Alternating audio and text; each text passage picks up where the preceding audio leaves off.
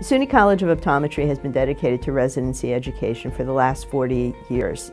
In fact, SUNY had the very first residency program in all of optometry back in 1975 with our first residency class graduating. We have a variety of residency programs. We have residency programs in the rehabilitation area. We have uh, vision therapy, we have low vision, and we have acquired brain injury or neurooptometry. We have a number of affiliated programs at the Veterans Administration hospitals, at Bronx Lebanon, which is a hospital-based program, and also at Fromer, which is a MD, OD practice. I chose SUNY because I actually went here to get my degree. Um, I knew that tons of experts in the fields worked in the building and they would be around.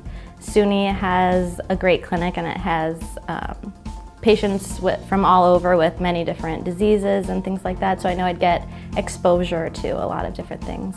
Our residency programs are by definition clinically based programs, so they spend the majority of their week obviously in clinical care. Part of a residency program that's core to it is that there's a didactic and a curriculum that's associated with it. Day to day I'm in all the different clinics. I go from glaucoma to pediatrics, I go to retina and then I'm also teaching a little bit in the labs and supervising in the clinics as well. I love teaching. It's very rewarding and it kind of gave me the idea that I might want to do that in the future. So each of the individual programs might have a specific curriculum associated with that program and that specialty.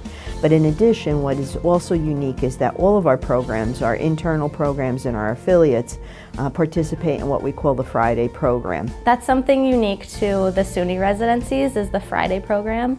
Uh, we get to have lectures by experts in particular fields um, and it's an opportunity for all the residents to get together. And one of the things that we have expectations for our residents is that they will become proficient in public speaking and in writing. We have a smaller presentation in the fall and also the bigger presentation in the spring. And then they're basically um, put forth to the general public uh, for our majors, which is a very large um, capstone type event for the residency program where we open it up for doctors to come for continuing education. It's basically an hour long on a topic that you've done a lot of research on, you're very comfortable with, and then you're giving that lecture.